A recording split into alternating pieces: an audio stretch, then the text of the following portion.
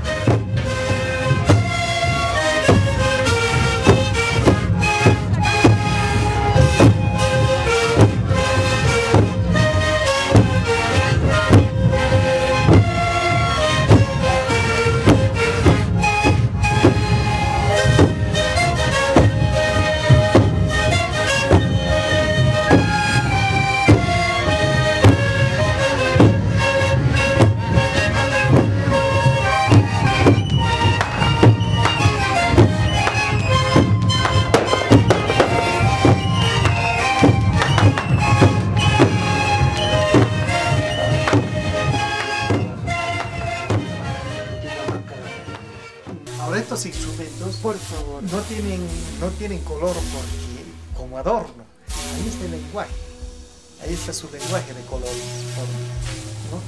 Entonces, eh, de ahí nos vamos dando cuenta recién de que, de que todo funciona en base de colores y formas. Amarillo, azul, rojo, blanco, verde. O sea, tiene también una simbología, una, una Claro. Más que todo se, trabe, se en base a bicolores se trabaja.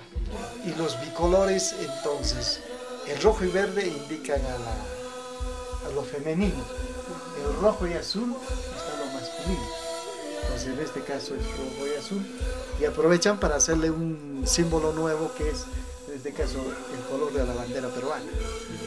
¿Es masculino siempre el rojo? El, rojo y azul es masculino. El, el rojo y verde es femenino. En este caso aquí tenemos rojo y verde en la invocadura. Entonces está en la invocadura y entonces ahí viene precisamente la pregunta, ¿por qué está la invocadura? La importancia que tiene la, la mujer, el lenguaje simbólico que maneja este instrumento, tanto por forma como por su color. ¿Ya? Entonces aquí vamos a ver de que en la portada está un ritual, son personajes de un ritual que es de ganadería y entonces hacen el empadre o el cruce de las alpacas, pero con esta música, ayudado por la música que hace este instrumento. como, hemos dicho que estas gradas, la grada, ¿no? que en quechua es chacana, sirve para ir a otras partes, más arriba, más abajo, trasladarse a otros. Entonces con esta música trasladan del estado, digamos, de las hembras, de, un estado normal a un estado de preñez. Entonces por eso su música era ritual. Se tocaba para esta música. Igual va a ser en la, en cuanto a siembran de cierto producto, como aquí hay bastante la papa, entonces dice, eh, las papas entonces van a reproducirse con esta música. está escrito en un pentagrama donde nos va a dar sonidos machos y sonidos hembras. Y siempre tratan de tocar todos los tubos de un ciclo para decir que todas las, todas las papas